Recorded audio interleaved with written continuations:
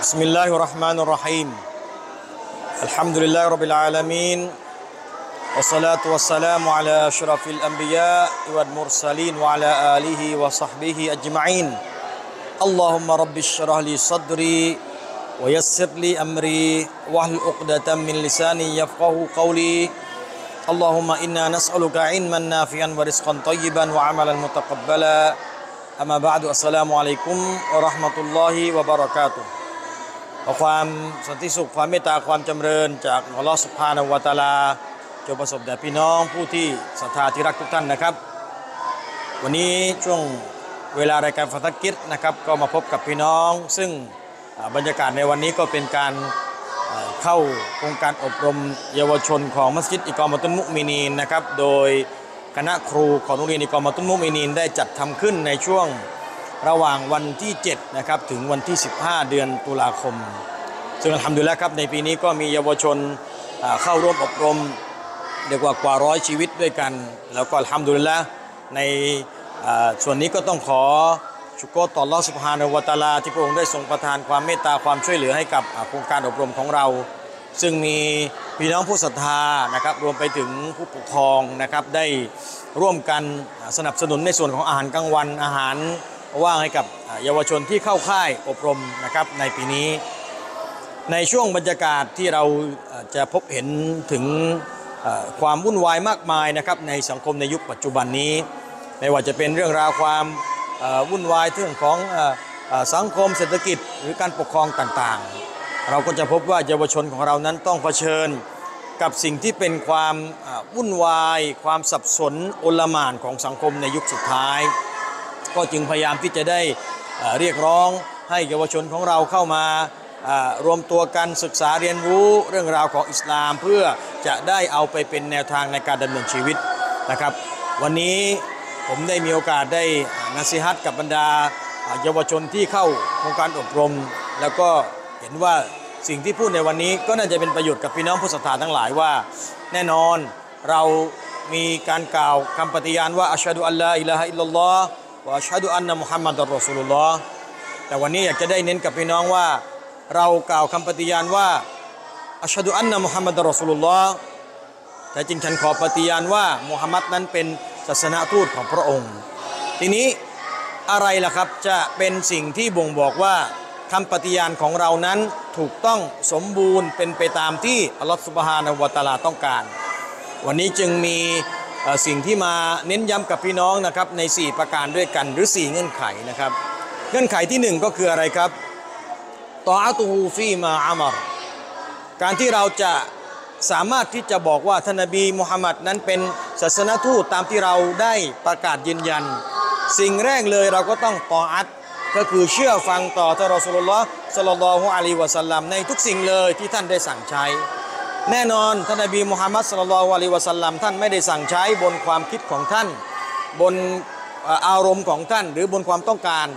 แต่คำสั่งใช้ของท่านนั้นเป็นไปตามที่เป็นพระบัญชาของลอสุบฮานวตาลา อันท่านนบีสั่งใช้เราละหมาดท่านนบีละหมาดอย่างไร เราก็ต้องพยายามศึกษาเรียนรู้ แล้วก็ต้องพยายามพยายามที่จะละหมาดให้เหมือนท่านนบี ท่านนบีถือสินอดอย่างไร ท่านนบีปฏิสัมพันธ์กับเพื่อนบ้านอย่างไร ท่านนบีคบค้ากับคนที่ไม่ใช่มุสลิมเนี่ยอย่างไร เราก็สามารถที่จะเอาสิ่งที่ท่านนบีได้บอกได้เตือนกับพวกเรานะครับ เอาไปใช้ในการดำเนินชีวิต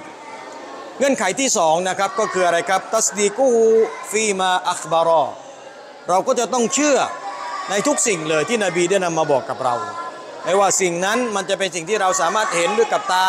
ไม่ว่าสิ่งนั้นเป็นสิ่งที่เราไม่สามารถเห็นด้วยกับตาได้ โดยเฉพาะเรื่องราวอิลมุลเกบ หรืออิลมุลไกบีต่างๆ ที่นบีมาบอกกับเราเรื่องของการอาซาบกูบด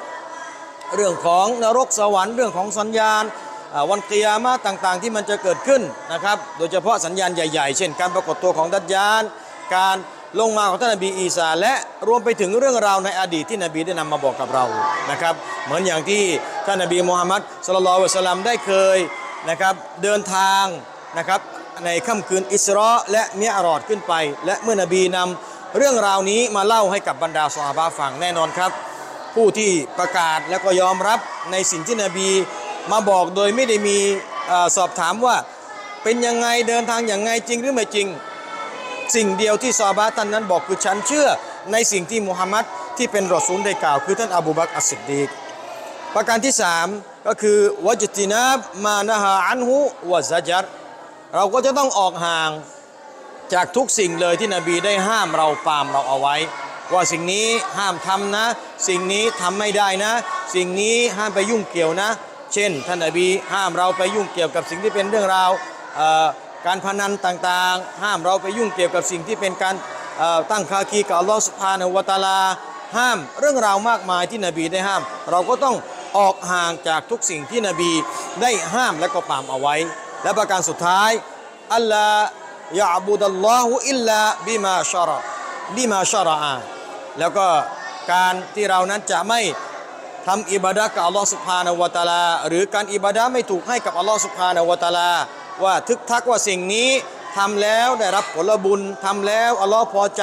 ทำแล้วอัลลอฮ์รัก เว้นแต่สิ่งนั้นต้องมีเรื่องราวสิ่งที่เป็นบทบัญญัติ ผ่านอัลกุรอาน ผ่านฮะดีษของท่านนบีสุลต่านละฮ์อะลัยฮิวะสัลลัมเพราะฉะนั้นพี่น้องครับถ้าหากว่าเราไม่ ทำให้ 4 ข้อ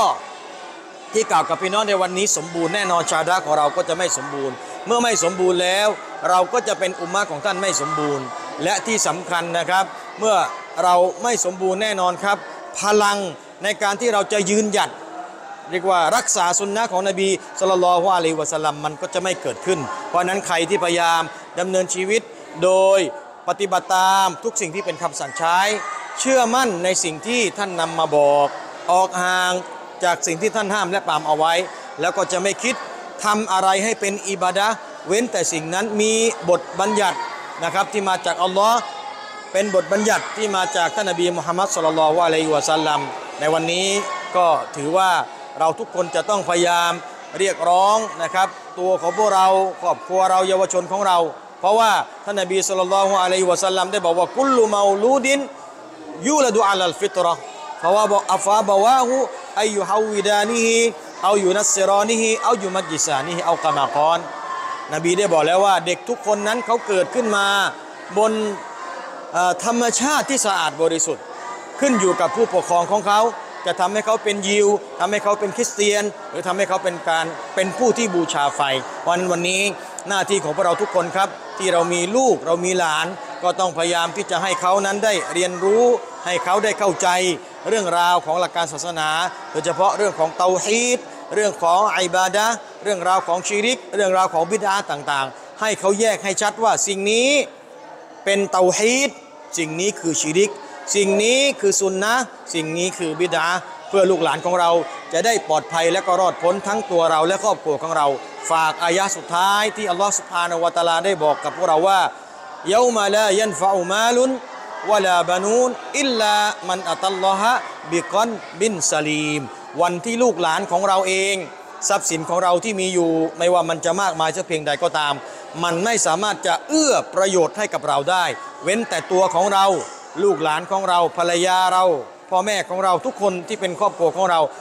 จากดุนยานี้ในสภาพที่หัวใจมีความสะอาดบริสุทธิ์ หัวใจปราศจากชิริก นั่นก็คือเตาให้ที่สมบูรณ์กับอัลลอฮ์รูปแบบการปฏิบัติเป็นไปตามสุนนะไม่มีบิดามาเจือปนนี่คือเป้าหมายชีวิตของเรา ให้เราจบท้ายด้วยการที่เรานำพาศาสนาที่สมบูรณ์ที่สุด ไปพบกับอัลลอฮ์ سبحانه وتعالى ครับ وبالله التوفيق والهداية والسلام عليكم ورحمة الله وبركاته